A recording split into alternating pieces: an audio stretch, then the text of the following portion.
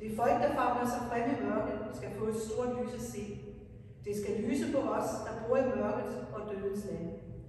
Gud, du giver os storhed og glæde, vi skal juble. Ligesom man gør, når høsten er overstået. Ligesom man gør, når krigen er forbi, og når man deler krigsbyttet mellem sig. Du har fjernet den vægt, der tvang vores skuldre ned. Du har knækket slavepiskerens stok. Ligesom dengang du lod helten Gideon vinde over Midjans her. Soldaterne støvler og deres blodige kapper bliver smidt på bålet og brændt. For et særligt barn er født os, her mellem almindelige mennesker. Vi har fået en søn. Han skal regere over os, når han bliver voksen. Han skal kaldes den kloge rådgiver, den stærke Gud, den beskyttende far, den evige fredskonge. Han skal blive en stor hersker, og den fred, han giver til hele sit kongerige, skal vare for altid. Hans magt hviler på godhed fra nu og til altid. Men det er kun fordi, at Gud elsker sit folk så inderligt, at han lader det ske. Amen. Og lad os sammen bekende på kristne tro. Vi forsager djævlen om alle hans skærninger og alt hans væsen. Vi tror på Gud Fader, den almægtige, himlens og jordens skaber. Vi tror på Jesus Kristus, hans enbårne søn, vor Herre, som er undfanget ved Helligånden, født af Jomfru Maria, pint under Pontius Pilatus, korsfæstet død og begravet, nedfaret til dødsriget, på tredje dag opstanden fra de døde, og faren til himmels, siddende ved Gud Faders den almægtige højre hånd, hvorfra han skal komme at dømme levende og døde. Vi tror på Helligånden, den hellige almindelige kirke, de hellige samfund, syndernes forladelse, kødes opstandelse og det evige liv. Amen, amen, amen.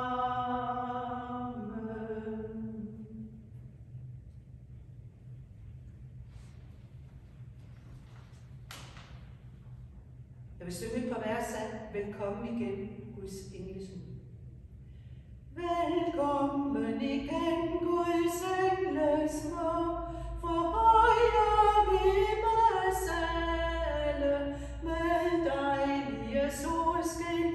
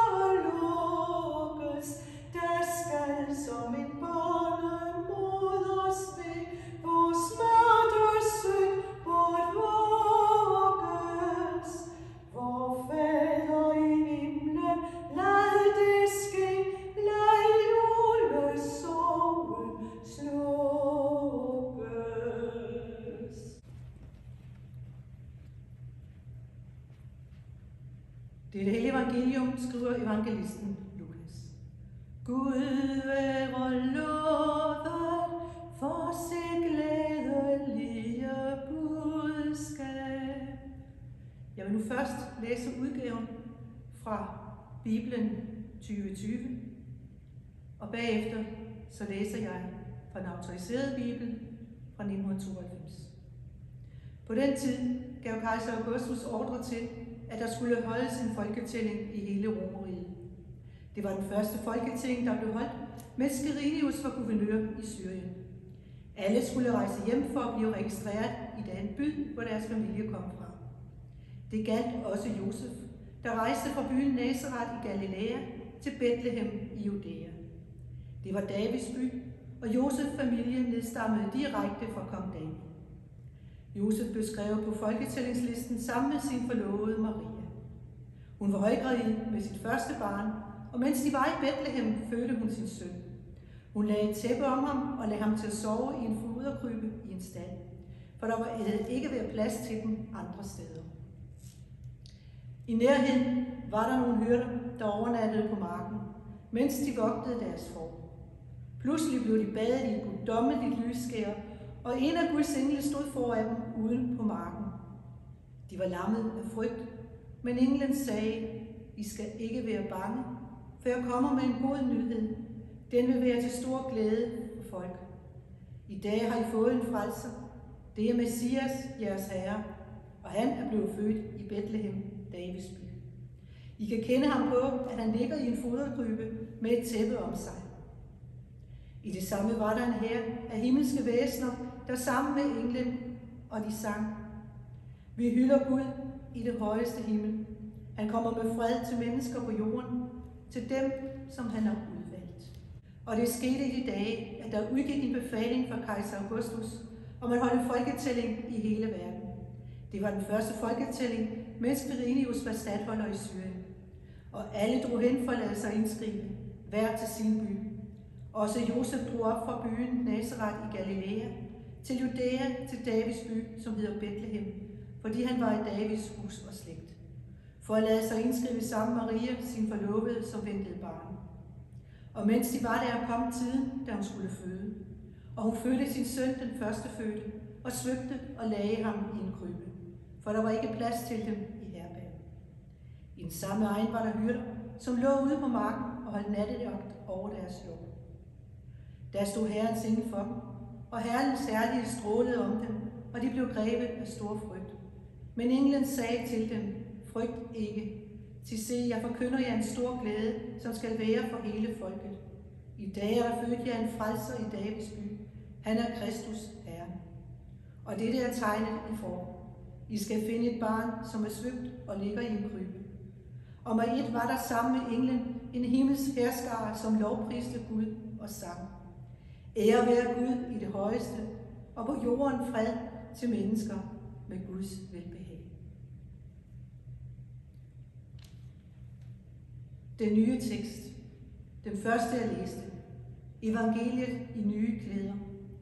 Ja, den kræver nok, at vi er omstillingsparate. Men er det ikke det, som vi har været i snart to år? Omstillingsparate. Vores hverdag har i hvert fald forandret sig, og måske også julen men vi har lyst til at sige, rør blot ikke ved min gamle jul. Tja, og dog, vi må jo indske se, at det skete igen. For så blev det endelig juleaften. Julelysene skinner på træet og i børnenes øjne. I år må vi gerne komme i kirke, dog i begrænset antal. Vi skal jo nærmest skrives i mandtal, ligesom i evangeliet. Og det er ikke fordi, der ikke er plads i herberget eller her i kirken, men vi må jo rette os efter de restriktioner, som er kommet, og glæde os over, at vi kan holde juleaften, også her i kirken. Vi jubler over, det jul, men også over, at vi må være her. Vi har brug for noget at glædes over. Vi har brug for julen, for en dag, at vi kan fejre i familiens skød. Vi skal huske, at julen den er en ultimative næste kærlighedstid. Vi er gode ved andre i denne tid. Måske endda bedre, end vi er ved dem resten af året. Vi holder traditioner, og julen er sådan en tradition. Og en anden tradition, som vi holder af, ja, det er TV's julekalender. Måske har I set julekalenderne i år. Der er jo to. En, der hedder Tidsrejsen, og en, der hedder Kometer de Chuk. De behandler begge to om at rejse. Rejse tilbage i tiden og frem i tiden til en anden planet. Og julen, ja, den handler jo også på en måde om at rejse. Om de to rejsende, Maria og Josef, som kom fra Nazareth og skulle til Bethlehem for at tælles. Om stjernen, der ledte de andre rejsende, de tre konger eller vismænd, og hyrderne fra marken hen til det lille barn. Men barnet, der blev født, han var ikke bare et menneskebarn. Han var et særligt barn, for hans far var Gud, og han tog rejsen ned til os og blev et menneske på godt og ondt. Jesus barnet blev født i en stald, i en krybbe, et fodertud, og der ligger han nu, barnet. Vores liv beskrives jo også netop som det, en rejse fra vores fødsel til vores død. En pilgrimsrejse, hvor vi møder glæde og sorg, og i alt dette er Gud til stede i vores hverdag på vores livsrejse. Og i julekalenderne i år, der rejser nogen til en fremmed planet, og de bliver ældre på vejen dertil. Her, de sender en af de indfødte et rumvæsen tilbage på jorden. Men da den ankommer, der er den et æg, og den bliver klækket og bliver til en børneudgave af væsenet. Og er det ikke også det, at julen er til for? At vi skal blive til børn. På en måde, på den måde, at vi skal se på verden med barnets øjne, og vores tro skal blive som barnets tro. For børn ser på verden, på ting omkring sig, med lidt uskeptiske øjne, og de siger, hvad de lige tænker. De er så umiddelbarlige ærlige. Det er den måde, at vi skal se på Jesus barnet med. På troen på, at Gud i dag nu så føde.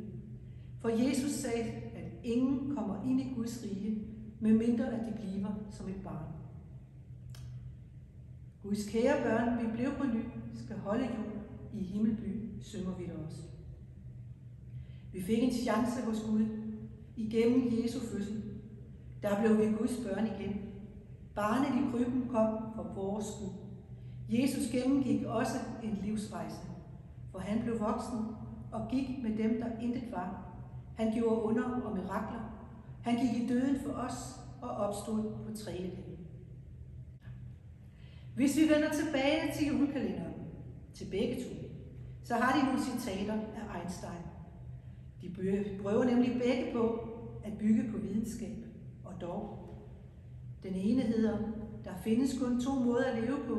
Den ene er, som om ingenting er et mirakel, den anden er, som alting er et. Og det andet Einstein-citat, som vi møder, jer. den smukkeste oplevelse, vi kan have, er den mystiske. Måske, ja, så synes vi ikke, vi møder, møder det mystiske i vores liv. Og dog, i kirken, der møder vi nogle gange noget. Noget, som vi ikke kan forklare med ord. Måske kan vi fornemme det og mærke det i vores sind. Helt inde i vores hjerte. Der sker bare noget i kirkerummet. Det fylder os med tro på, at der er noget, som er større end os selv. Noget, som vi ikke kan forklare. Og det er måske ren mystik for os. Fordi tro er ikke videnskab. Og mirakler og mystik, ja, det kræver for mig at se, at vi tror. Jesus rækker sine hænder ud mod os og beder os om at tro på mirakler. Tro på det, der fylder vores liv med mystik, og ikke kun her til jul, men hver eneste dag i vores livsrejse. Vi må tro på, at han, det lille barn i krybben, frelseren på korset, Jesus, han vil os det bedste. Han går med os hver dag, også i denne tid. Det kan godt være, at det kan være lidt svært at tro på. Men det synes som om, at i juletiden, ja, der er alting muligt at tro på. Vi tror på stjerner, på engle, på vise mænd og ikke mindst på barnet i krybben. Så lad os fejre jul, og men det nu bliver en anderledes jul igen i år. For julen kan intet forhindre. Nej, end ikke en pandemi have slået dem ihjel. Glædelig jul alle sammen. Amen. I faderens og søndens og heligåndens navn. Tak, kære Gud, for at miraklernes og underens tid ikke er forbi. For at du lod dig føde i en stand og lagt i en kryb eller fodertro. Tak, at det blev jul igen i år med åbne kirker. Hjælp os at have åbne sind og være med på vores livsrejse. Lad os blive som børn igen, og lære os at glæde os over det, som vi møder i hverdagen. Gå med os og slip os aldrig. Amen. Herre, vil du male dem, som er syge og sorgfulde, enten de er fjerne eller nær. Vær med din nåde hjælp hos alle dem, der er ensomme og bange. Og vær med din trøst nær hos dem, der snart skal dø. Hold dem og os i din stærke kærlige hånd. Velsign og bevare din kirke også i dem. Velsign og bevare dine hellige sakramenter. Og lad dit ord have frit løb Hæves os. Giv os din helligånd til hjælp og styrke dertil. Hold din hånd over vort folk og vores fædreland og al den søvrighed. Bevar vor dronning Margrethe den anden og hendes familier og alle familier.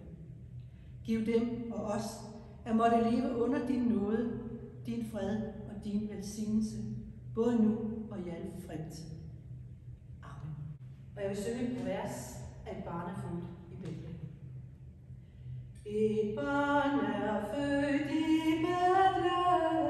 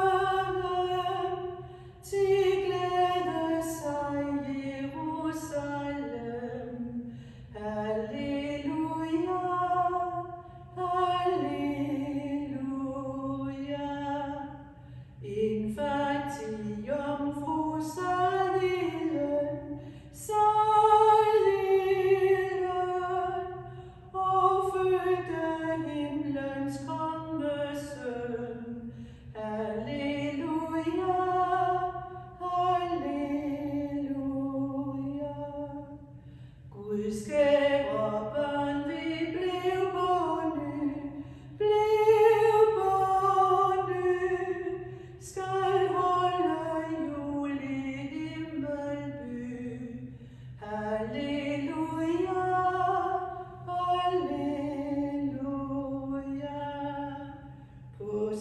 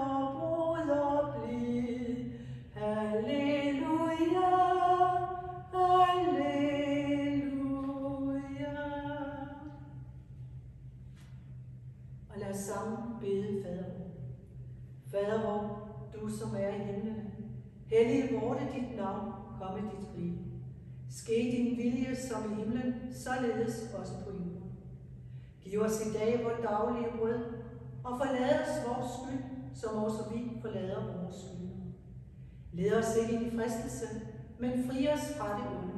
Til dit er riget, og magten og æren i evigheden. Amen. Og modtag Herrens velsignelse og ønsker hans fred. Herren velsigne dig og bevare dig. Herren lader sit ansigt lyse over dig og være dig nådig. Herren løfte sit åsyn på dig og give dig fred. Amen.